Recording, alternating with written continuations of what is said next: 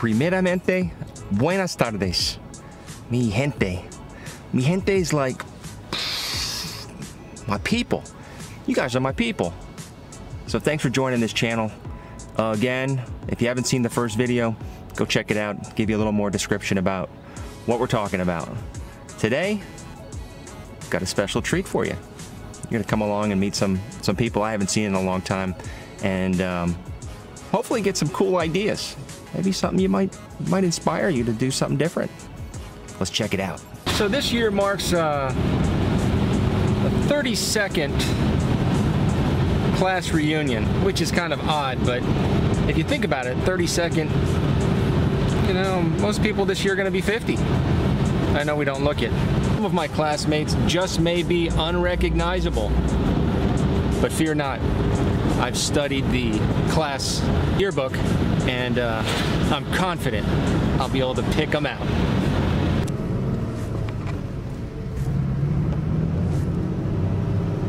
This is probably not the smartest thing to do. This thing's about four times the size of a telephone.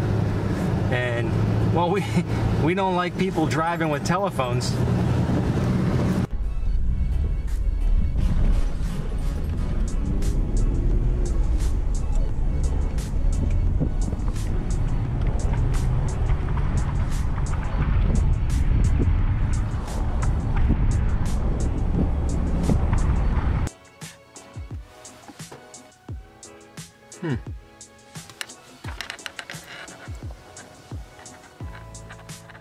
Looks like we made it.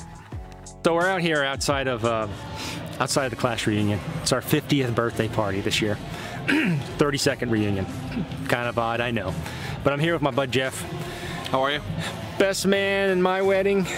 Best man in his wedding. Absolutely. And uh, we're gonna go in there. We're gonna drop a couple questions about you know, some experiences to help you guys out. You know, give you a couple ideas. You know, what do you, what do you think um, might be something interesting? Uh, Jeff, what, what, what, what are you thinking Well, about? trying to find out. We're here for high school, but you know, since then, we're all talk, talking. We're all 50 years old now.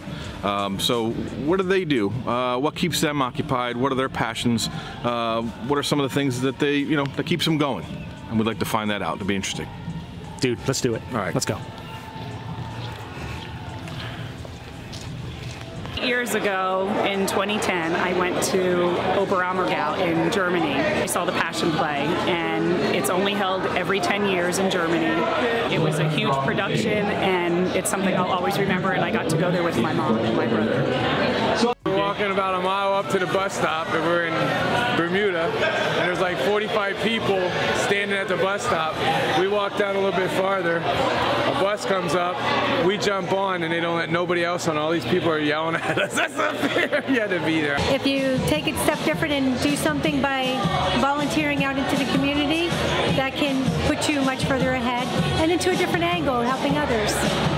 President of the Kiwanis Club, and I'm also on, on the board for the Business Professional Women's Association. started um, mission trips back in I think the summer of 1993. My first mission trip was to Hungary. I taught English there for two weeks to 14 to 16 year olds. Spent a year in Venezuela. The Ukraine was in Romania. Worked with uh, kids there. Was in Liberia, Africa. Went to Uganda. Morocco for three and a half weeks. Went to Mexico. Helped put a roof on an orphanage. And that might be it. And Latin and ballroom dancing is what I'm actually doing right now, and it's been a blast. I'm learning foxtrot, rumba, cha-cha, bachata, salsa, and uh, it's certainly something I'm loving, enjoying it. I wish I would have started it sooner. Went vegan and it is awesome. Everybody thinks all I eat all day is salads. I go a week without eating a salad. There's so many good choices out there, so many things you can do with beans and corn and nuts, and it's an awesome way to eat and be healthy at the same time. I like to uh, go on Wikipedia and learn a topic, something that maybe I've heard, an expression, a term, an event, the uh, Spanish-American War, uh, the stock market crash, and then from there, I call it chain reaction. I might read about it, and then something else will catch my attention that's in there that's a link, and I'll click on that link. I love to do that because I feel I learn so much, and I'm able to get a better understanding about the world and life and, and everything that surrounds me that I may have only heard bits and pieces for, and now I can get an actual understanding of a story. Usually it's completely different than the idea I'd always had in my head about it. I guess the most interesting thing that I've done in the last few years is, you know, when you think your life is over, I decided to start something new. And I went to college, which I didn't do after high school.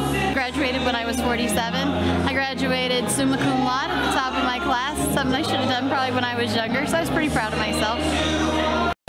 I've been to every one of my kids' games since they're little. My son does three sports. He does uh, football, he wrestles, and he plays baseball. And my daughter, um, she played soccer and basketball and track. And I've recorded every single game they've been to. Well, that's it. Kind of wraps things up. If you've gotten some pretty good ideas, good, awesome. If there's an idea that you'd like to share with the community down below, that would be even better. Love to see a whole bunch of ideas because you know it's going to give me some new material, give me some some new ideas. I feel like I've already lived three lifetimes in one. I mean, I got got so many ideas; they're just exploding, and I'm only halfway there. So, leave some leave some comments below. Subscribe if you haven't already. Let's keep it going. Catch you on the next one. Actually, the next one, um, I have a trip coming up this week, Puerto Rico. I'm gonna get some fantastic footage. So come on back, check some of that out. See you soon.